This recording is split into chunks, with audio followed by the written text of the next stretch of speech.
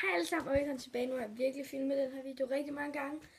Så det er at være god. Ja. Men det jeg skal lave, det er et Flensborg, det kan mere men jeg har været i DM.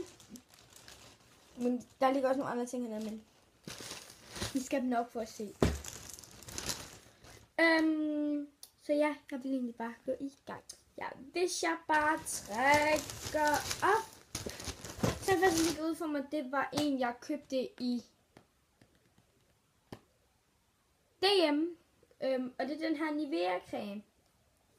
Jeg har hørt sindssygt meget godt om, min veninde har fortalt rigtig meget om, at den skulle være god, og den skulle være fugtgivende, og den, altså, ja, den skulle bare være rigtig god. Jeg skal nok linke hendes kanal ned i beskrivelsesboksen, så I kan tjekke hendes øhm, video ud. Hun er rigtig, hun er, hende kan jeg godt lide. Det er hende, jeg altid får inspiration af, sammen med Julia Sofia, The Anti Bieber, øh, Christine Slot, og du, du, du, du, du, du, du.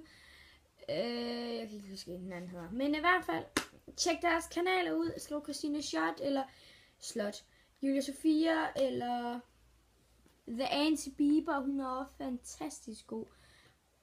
Øh, men i hvert fald, jeg har fået anbefalet den her rigtig mange gange over YouTube, og folk har skrevet, eller Instagram, at jeg skulle helt klart prøve den her, når jeg havde sådan noget. Jeg har rigtig tør hud, øhm, og rigtig tør fingre, rigtig tør ansigt, det var sådan, øh, øh, nogle gange. Øh, og så sagde de, at jeg skulle prøve den her. Og nu prøver jeg den. Og jeg tror, den koster sådan 20 kroner i danske, sådan cirka 3 euro dernede. Det er sådan cirka 20 danske kroner, tror jeg. 3, 2, 21, 22 kroner. Ja. Øh, jeg skal egentlig lige se noget, om der ligger noget. Ja. Sådan. Der lå lige noget i en anden makeup. Det næste, det er sådan en Synergen Limited Edition Hand Cream. Og den her, jeg, det er ikke lige præcis den her, men den her har jeg set rigtig, der er Angie Bieber, hun viste sit, sit Flensborg, og nu taler jeg rigtig om det Angie Bieber. Jeg skal nok linke hendes kanal ned i beskrivelsesboksen, og Julie Sofia og Christina Slot skal nok linke ned i beskrivelsesboksen. Um, men i hvert fald den her cream, den er sygt god. Den er um, oh! Jeg elsker den. Den er virkelig med af det bedste på hele jorden, jeg nogensinde har. Åh, oh, det lugter bare så godt, og ja, og jeg har rigtig tørre fingre, og den hjælper på rigtig, og, den, og det er bare sådan, altså igen, det er bare synergien. Øhm, så ja, og jeg vil rigtig, jeg vil rigtig, jeg er rigtig ked af, at jeg ikke vil købe flere, men jeg havde ikke prøvet dem og sådan noget, og så, men jeg er i hvert fald rigtig glad for den her, jeg har købt derfra, så ja.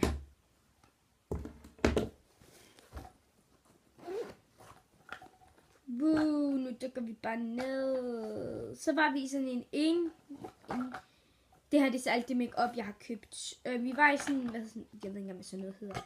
Sådan en krons butik. Eller sådan en euros butik, hvor det kun kostede 1 euro, så sådan 7,5 i danske kroner. Øhm, og det var jo ikke ret galt, så der fik jeg også en masse lækre produkter. Produkter. Øhm, ja, det første, det var egentlig bare sådan en helt almindelig puder og pensel. Men den stinker ekstremt meget. Så jeg tænkte mig at bruge, for jeg har sådan en... Jeg har købt, jeg købte også en puder, den fortæller lidt om bagefter. Men den vil jeg sådan lidt her, her i T-zonen. Øhm, så, så vil jeg bruge den her. Fordi jeg får rigtig tør hud her i T-zonen. Det er helt vildt mærkeligt. Øhm, så ja, og den kostede bare den der 7,5. Og det er jo bare... Og, det, og i den butik, der kostede det kun 1 euro. Alt kostede 1 euro. Og så var der hyggesokker. Åh, hyggesokker. Nå, den købte jeg forresten noget. Når jeg lige tænker mig om. Jeg købte også hyggesokker. Jeg købte sådan nogle her, beklager hvis det er lidt snusket. Øhm, sådan nogle hyggesokker her, og de er bare... Jamen, jeg siger jer, oh, de er så dejlige. Og så de var sådan pinke. Med grønne og hvide hjerter. Og så synes jeg bare, de er nuttet. Og de kostede bare de der 7,5, og de er bare mega gode. De er ikke gået i stykker endnu, så det er fint. Det er altid godt med nye sokker. Og især hyggesokker. Det næste, det var egentlig bare sådan en blændingsbast her. Jeg synes, det var lidt dyrt for sådan en her. 7,5 for sådan en her. Øh, men så alligevel ikke. Det er jo bare 7,5. Altså. Men den er rigtig god, og øh, jeg bruger den nu mest her til min concealer. Og her er en af når jeg skal tage det ud. Øhm, så ja, men den er også rigtig god hvilket Man kan se, den er lidt beskidt her, men det er fordi, jeg brugte den til puder i dag, så ja. Det næste, det var min puder, og den er altså ikke så lys, som I ser den der. Eller er den ikke? Nej. Øh, den er nok så lys, som det, den, det, det, jeg peger på lige nu. Den er lidt mørk. Øh, nu har jeg lige se, hvis jeg zoomer ind. Sådan der. Sådan der er den. Ja, sådan der. Ja, der er sådan et mønster, hvis I ikke lige har lagt mærke til det. Men helt klart, når jeg skal ned igen, skal jeg bare have sådan en masse random ting. Jeg havde tænkt på at købe tre børster mere sådan til lidt forskellige foundation og sådan noget. Bronzer. Øhm, men jeg har også nogle nede på skole, hvis jeg ser mine andre videoer. Øhm, så ja. Men jeg kan i hvert fald op af den her. Den er jeg super glad for. Undskyld, min mor, undskyld, min mor kaldte lige på mig, så ja.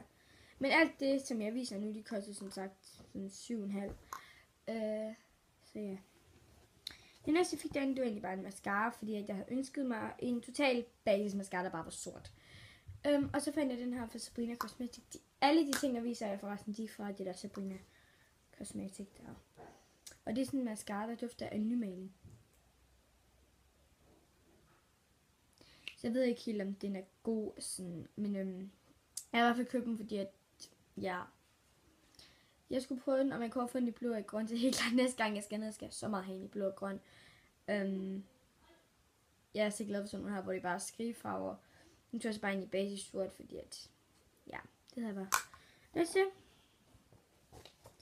Den sidste ting, det er en total skrige læbestift. Og jeg havde egentlig købt den sådan for sjov skyld, fordi at jeg synes, den er sådan, åh, den skriger virkelig. Det er helt vildt. Virkelig på til skuas. Den er sådan der, øhm, også i virkeligheden, det er så sygt. Den er fed, det er slet ikke det. Øh,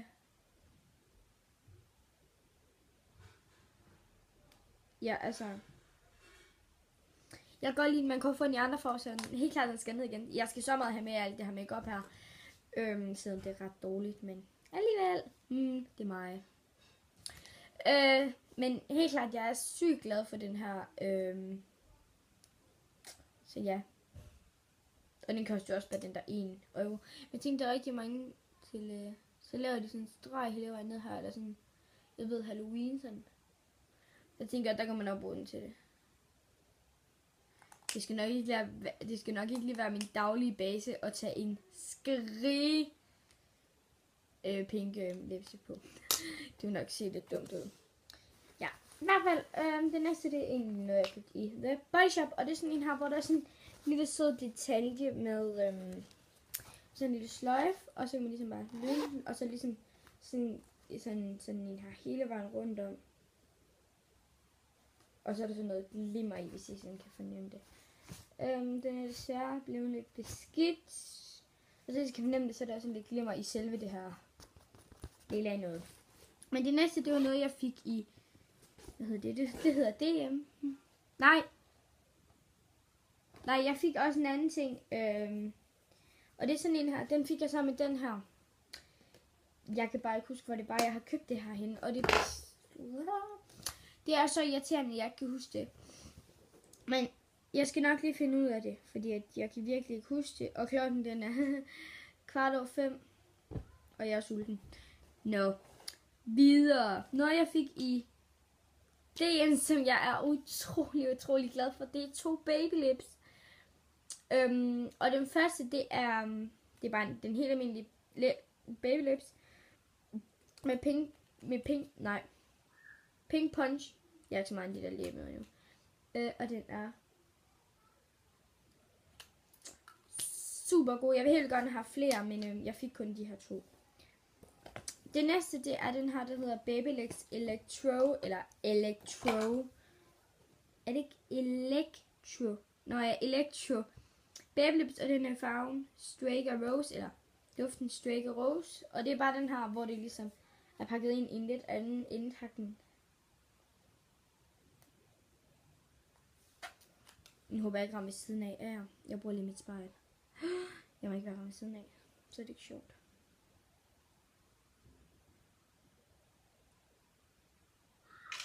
Okay, det var jeg ikke. Nå. Men jeg er i hvert fald helt vildt glad for alle de her ting, jeg har fået. Og som sagt, nu har jeg... Du, du, du, du, du, du. Nu har jeg tre baby lips. Jeg har Strega Rose, Pink Punch og Peace Kiss. Nej. Jo, Peace Kiss. Sorry. Det er de tre her, jeg har. Og jeg er utrolig glad for alt det, jeg har fået. Som, og så har jeg også fået en julekalender med M&M's. Og jeg har fået en kokjo, men den drak jeg på vejen hjem. Og jeg fik sådan noget pulver, det der salmiakpulver, som smager utrolig godt. Ja. Det var egentlig alt. Jeg håber, I kunne lide videoen. Tryk thumbs up, hvis I kunne. Abonner, hvis I har lyst. Eller husk at abonnere. Øhm, og så ses vi bare i min næste video. Theo!